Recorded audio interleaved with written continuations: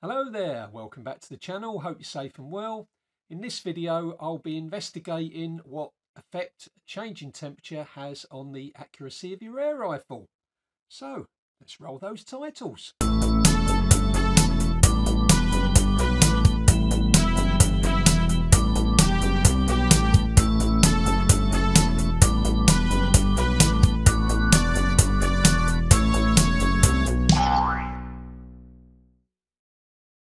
So you join me then continuing my voyage of discovery, trying to determine what is uh, fact and what is fiction in regards to some of the stuff that I hear people talking about or uh, I read things uh, about uh, air guns.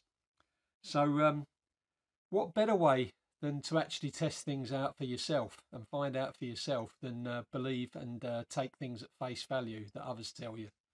So um, what we're going to do today then is um, have a look and see what effect the change in temperature has on an air rifle. So what I've done is I've selected a, uh, a Springer and a PCP and I've left them in the cold overnight uh, to get them down to a low temperature. Uh, certainly a temperature possibly I would suggest a lot lower than you would usually shoot them at. Uh, and then after that let them get back to um, normal sort of room temperature and uh, shoot them again and see what the difference is. So, let's get on with it, shall we? So we're outside in the garden then. Uh, you'll probably notice, see the sky, it's quite a clear blue sky today. Sun's very bright, it's low on the horizon. There's a little bit of a breeze, but it's still quite cold. The guns have been in a cold environment overnight so let's go and uh, uh, check them and uh, see what the temperatures are. So here are the rifles uh, in my uh, workshop then. Um, see I've left them in, in open bags so that they would uh, cool down. Um, we've got the LGV Springer, break barrel Springer, and we've got the the trusty Air Arms S400 PCP. Um, so there's the thermometer then. You can see look 4.9 degrees in here. So say you know five degrees.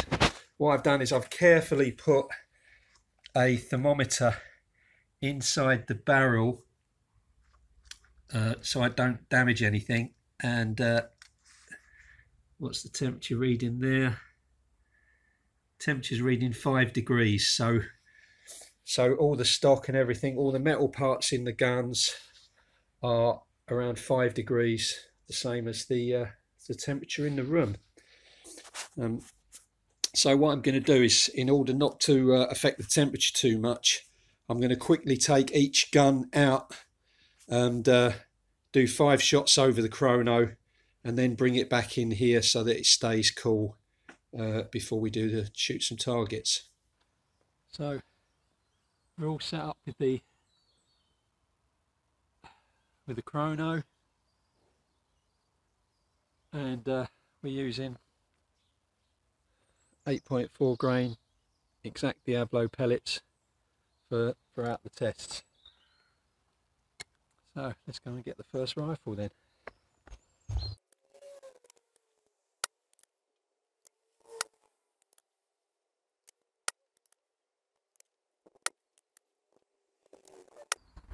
That's five shots then. I'm going to do, put the gun back so that it stays cold, go and write these uh, chrono results down and then we'll switch around and do the PCP.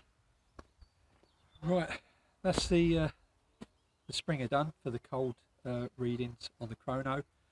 Now we're going to check the uh, PCP, the uh, Air Arms S400.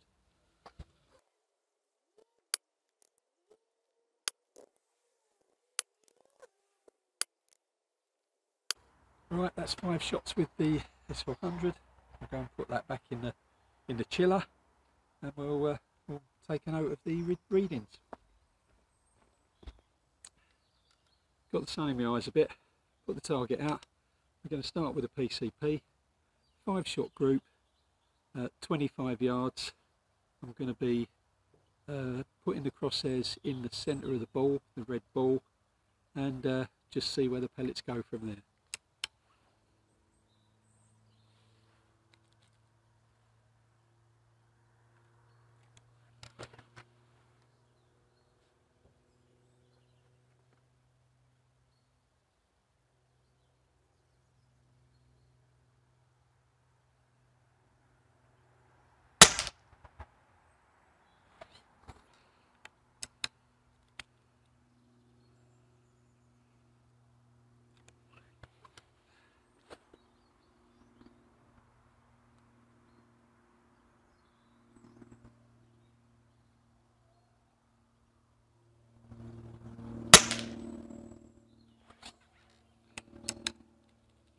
Shooting off to to the left, so uh, there's no breeze. So point of aim's changed a little bit from when I shot this gun before.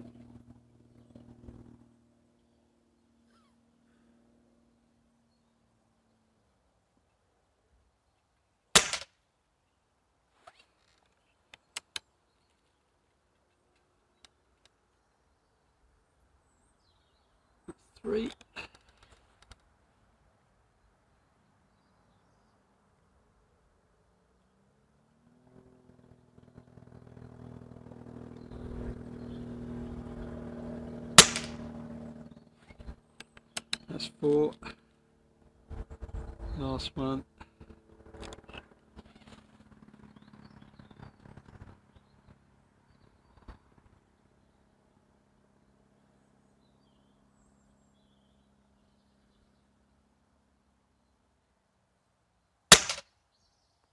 That's five. Okay. So it's springer time.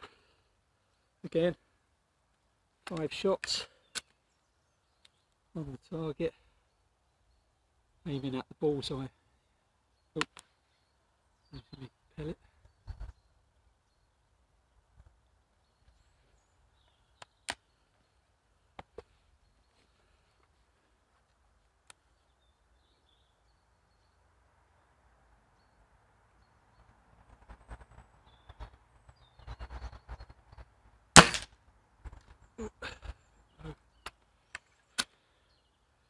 Probably not a very good shot from me really, that one, I don't think.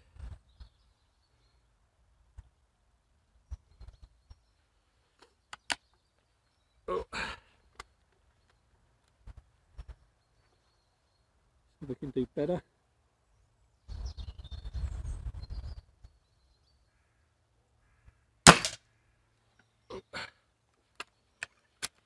Oh, going in the same place. So, not be too bad.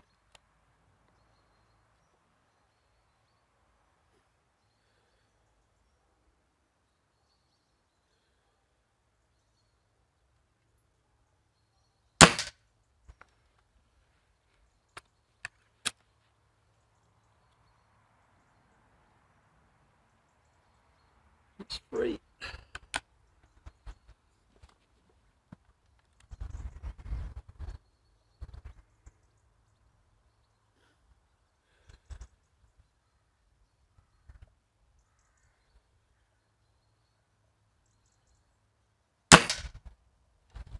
four.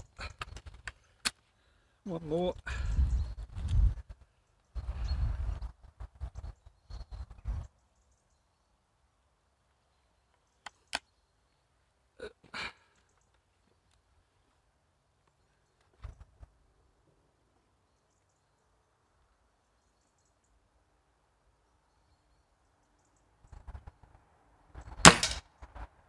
Five.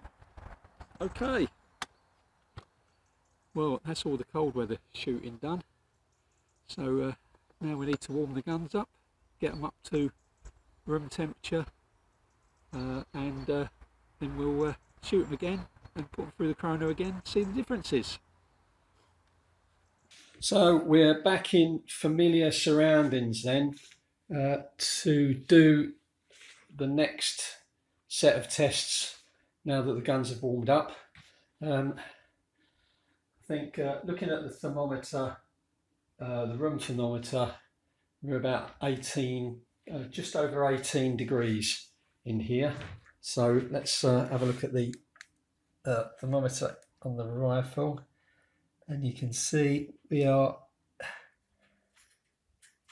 18.9 degrees so near enough 19 degrees temperature on the rifle now as opposed to five degrees earlier this morning. Uh, what I did is I haven't rushed uh, warming the guns up. I basically just brought them inside, uh, say into this uh, into the kitchen where the temperature is just over 18 degrees. Uh, it was it was a little bit warmer, but I think I must have opened the door or something. Anyway, so it's been yeah, it's been up at 19 degrees. It looks like it's going up. So uh, haven't sped up the warming. I've let the guns warm up naturally. Uh, so obviously don't want to, uh, you know, don't want to muck around and make the the uh, the metalwork uh, contract or expand or whatever too much with uh, extreme temperature changes too quickly. So what we're going to do now then is uh, I'm going to shoot both of these rifles, uh, starting with the Springer and um, through the chronograph like before, and sticking them back in their bags between uh, between testing to keep them warm, and then we'll shoot back out into the garden and shoot five shot groups on the target again.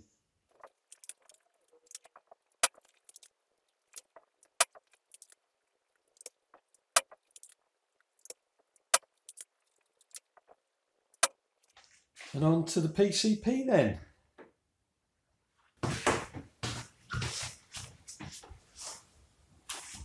Oh.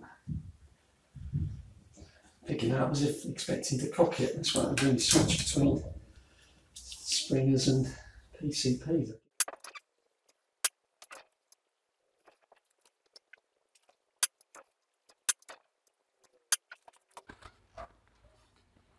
Okay, so let's do the five shot groups again with the warmed up rifles see what if, if, if there's any difference so starting with the S400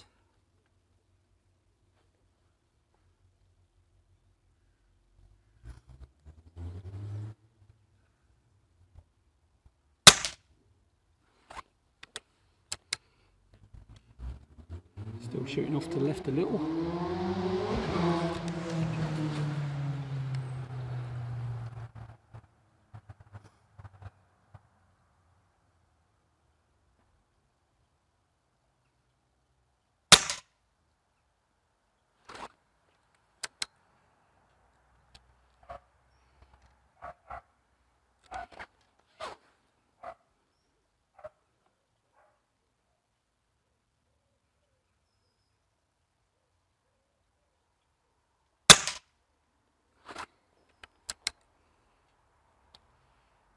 Three.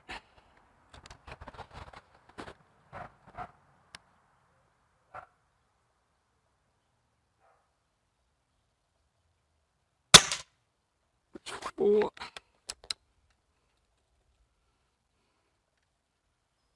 One more.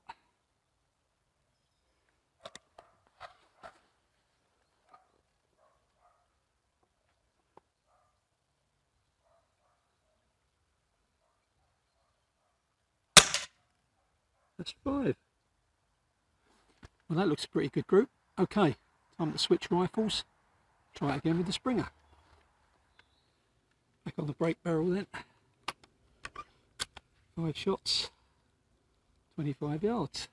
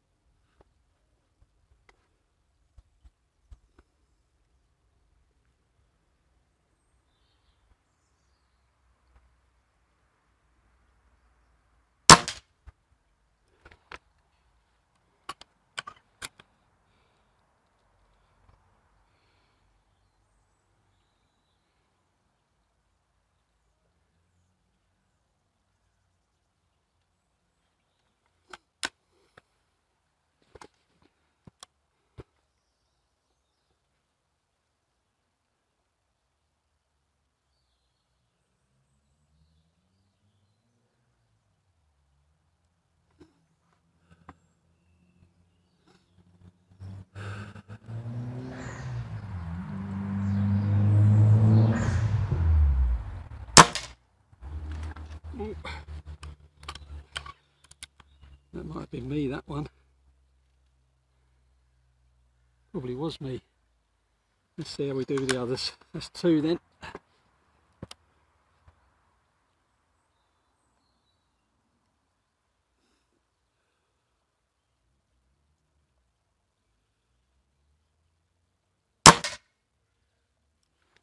Oh, perhaps it was the first one that was off then.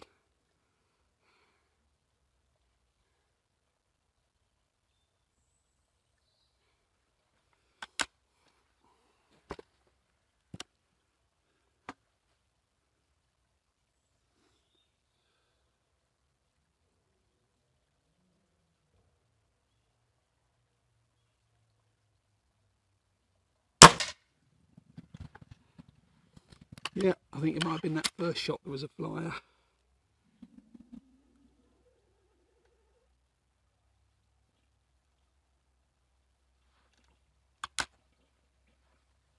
That's one it.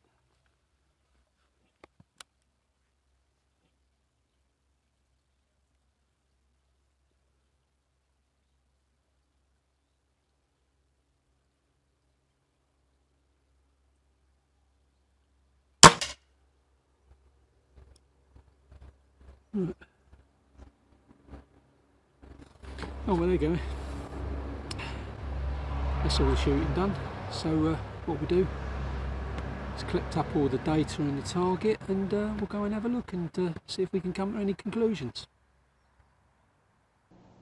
Here are the results from the chronograph. Then let's uh, take a look at the PCP first off then top box here we've got the chrono results at 5 degrees centigrade or Celsius to be more precise. And in the bottom box at 19 degrees so that's a 14 degree difference in temperature.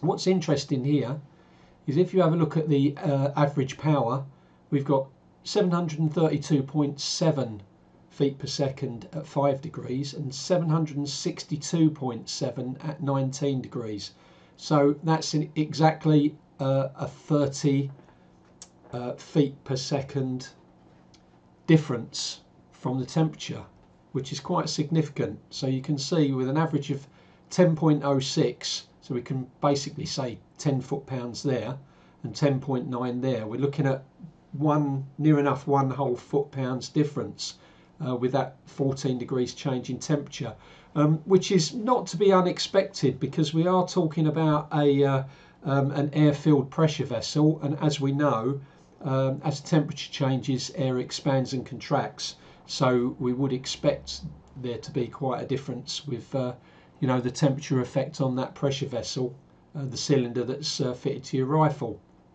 Um, what is interesting though is um, this is no surprise here, the spread and the standard deviation.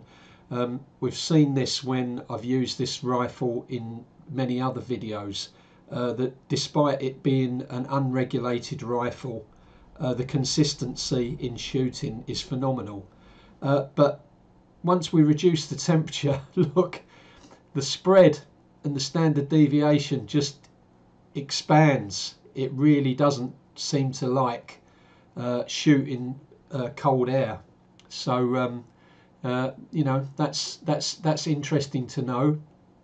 So if we move across here to look at the spring rifle then in comparison uh, at the cold temperature we had 761.4 and at the warmer temperature 767.3 so that is near enough a six uh, a six foot per second difference which so six feet per second difference with that temperature drop on the spring rifle, 30 feet per second with that temperature drop on a PCP, which is interesting. Um, but also note here, if we look at the spread and the standard deviation here, not really that significant. I mean, we've basically moved from what you could say is an average of 11 foot pounds uh, down to an average of 10.9. So not a significant effect on uh, the the power output of the spring rifle with that 14 degree change. Um, and you can see here, you know, uh, even though there's a change, the two changes in temperature, the consistency in the rifle at both of those temperatures is very similar. Standard deviation 2.8, 3.7 there. 7.1 spread, 9.9 spread there. So um, we can probably take from that that springers don't seem to mind so much uh, a change in temperature as PCPs. Um, but we'll have to have a look at the uh, at the results on the target to see if the uh, if that supports that conclusion. So let's have a look at the target then. Here's the target then from uh, all of the shooting. Um, I think one of the things that we can uh, we can note from the outset is if you look at the PCP, um, the windage is pretty consistent. Both groups shot an equal position off to the left. So I think we can ignore the windage on there and just consider um, the elevation. And uh, similarly, the targets on the right, uh, the windage there uh, is the same. Both uh, of the groups um, shooting off to the left.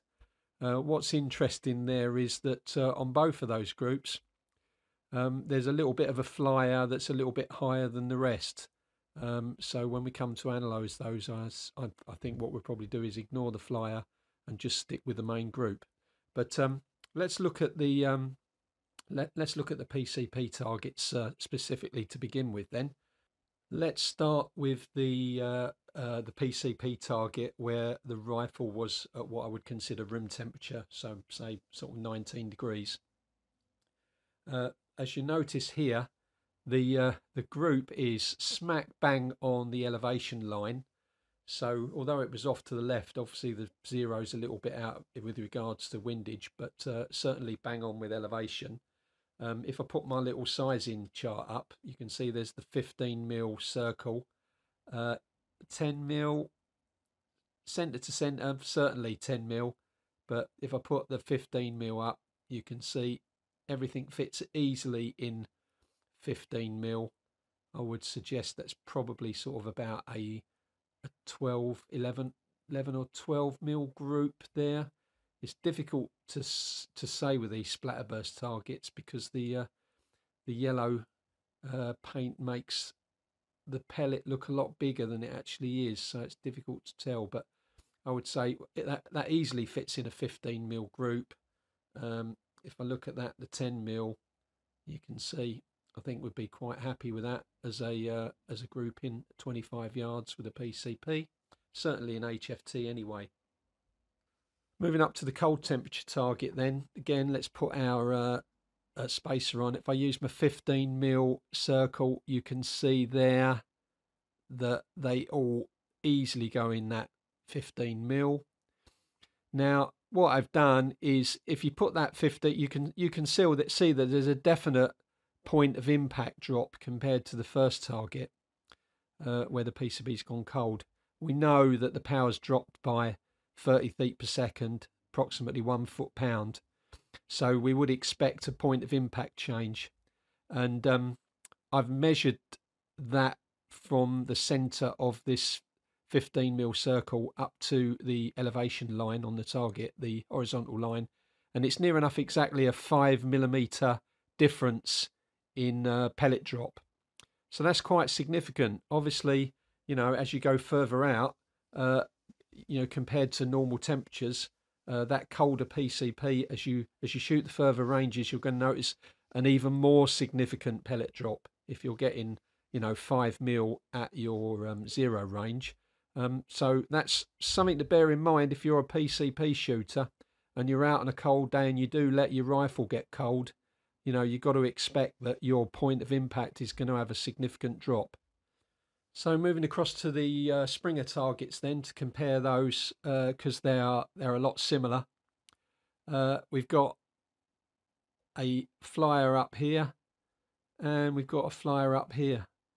It's uh, significant that both flyers are higher, which is a bit strange. But if you look at the main groups, the actual groupings pretty similar. Uh, certainly for um, uh, for windage, as they were both off, which which I would put down to a a zero in error. Um, and elevation wise, um, well, before we talk about elevation, let's look at uh, grouping size. So I've got my 15 mil circle again, and we're putting that 15 mil circle there. You can see that all of those four shots easily go in there possibly almost a 10 mil group, those four shots. Almost, a, yeah, probably about 11 mil uh, group there. We go down to uh, the the lower grouping, and again, look, you can see they're all easily in a 15. Probably a little bit more than in, uh, than in 11 mil there, probably near a sort of 12, 13 mil. Um, uh, anyway, so groups are very similar. Uh, and as we've seen from the chrono results, we would expect that because there wasn't a significant difference in the um, in the power output of the gun at the different temperatures. And uh, what I've done is uh, I've actually uh, put these uh, circles over the groups and measured up to the horizontal line on the target to compare the uh, the point of impact. And I'll stick those on now, and um, you can see if we look at the um, at the warm shot first, we're probably looking at around 13 and a half mils from the center of the group up to that horizontal line. And then we compare that to the cold and that's probably about 14 and a half 14 so probably i'd, I'd suggest it's probably le- less than a you know a millimeter at most uh, difference uh, in the point of impact probably less than that uh, which which is probably supported by the um, the chrono data so certainly if you're out shooting with a springer uh, it would appear that you don't really need to be that worried about getting it cold. So if you if you take the normal precautions and you're putting it in your um, bag between shots when you're going around a an HFT course or if you're shooting out in the woods and hunting or whatever, if you keep it in the bag between shots, then uh, you really haven't got to worry about the temperature at all. Because um, I mean, 14 degrees is quite an extreme in temperature, uh, and I I doubt very much whether your rifle is going to experience that extreme from taking it out of the bag, shooting and putting it back in. You're probably going to notice a, a difference in a couple of degrees, but I wouldn't have said 14 degrees. Um, so there you go. That's all good then. Well, that's all I have for this video. Before we go, just a quick disclaimer.